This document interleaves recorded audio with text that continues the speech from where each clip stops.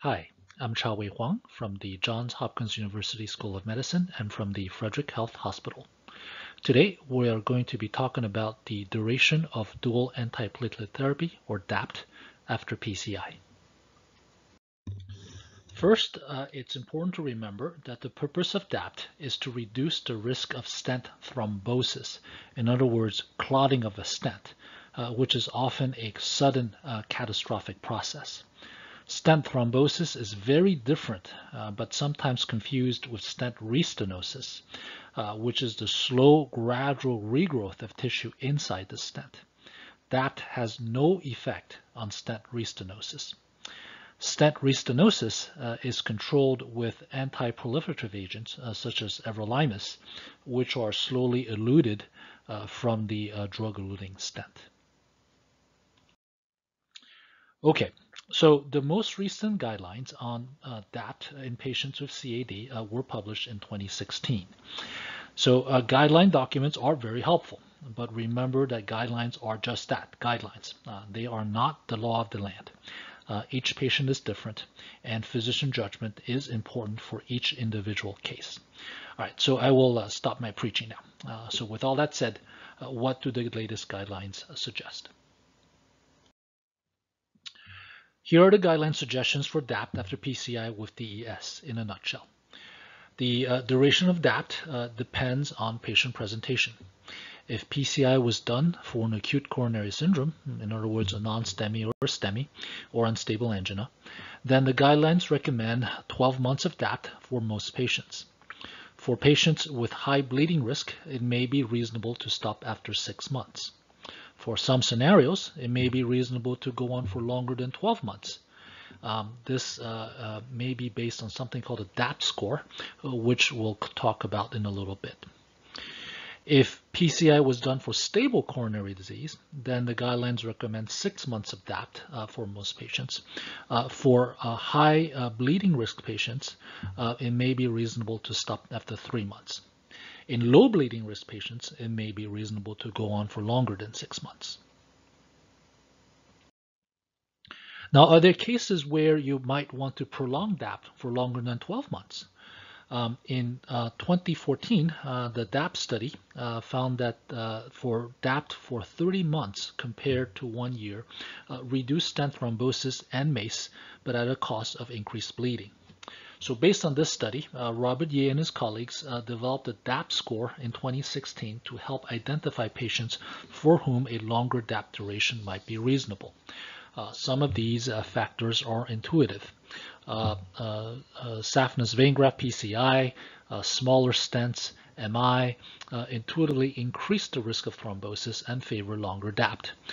older age increases the risk of bleeding and therefore favors shorter DAPT. So in essence, if your DAPT score is greater than or equal to 2, then prolonged DAPT for up to 30 months uh, may be reasonable. On the other hand, if your DAPT score is less than 2, then prolonged DAPT uh, is not recommended. So what about the opposite extreme? Uh, ultra short one month DAPT after DES. Well, this might be useful in high bleeding risk patients and could obviate the need for bare metal stents. Uh, there are two recent studies, uh, Xience 28 and Onyx 1 Clear, that looked at this question. And both studies showed favorable outcomes and low incidence of stent thrombosis. However, realize that these were non-randomized analyses versus uh, historical controls and had strict inclusion and exclusion criteria. So while the results are tantalizing, uh, they are not yet in guidelines. However, they do lend some support for one month of DAPT in a select group of patients. And some experts have argued uh, that these results could essentially make bare metal stents obsolete. Okay, so leaving PCI aside for now, what about CABG patients? Uh, for patients with ACS who get a CABG, uh, DAPT uh, should be continued for 12 months. Uh, this is a class 1 recommendation. For patients who get a CABG after uh, for stable coronary disease, 12 months of DAPT may be reasonable. And for patients who get a hybrid procedure or CABG after recent PCI, then the appropriate post-PCI DAPT duration uh, would be applicable. All right, so we covered PCI and CABG. What about uh, patients with ACS who get thrombolytics or just medical therapy? Well, fairly straightforward here. Uh, 12 months of DAPT after ACS with 6 months reasonable if there is high bleeding risk.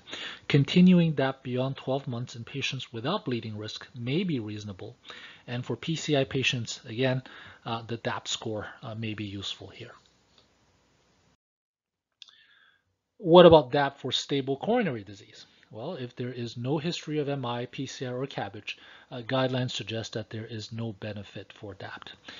Um, as we discussed earlier, for patients who get a CABG for stable coronary disease, 12 months of DAPT uh, may be reasonable. And as we also discussed earlier, for patients who receive DES for stable coronary disease, six months of DAPT is recommended for most patients, uh, but three months of DAPT may be reasonable for patients with high bleeding risk. Okay, uh, to summarize, uh, specifically for PCI patients who get DES.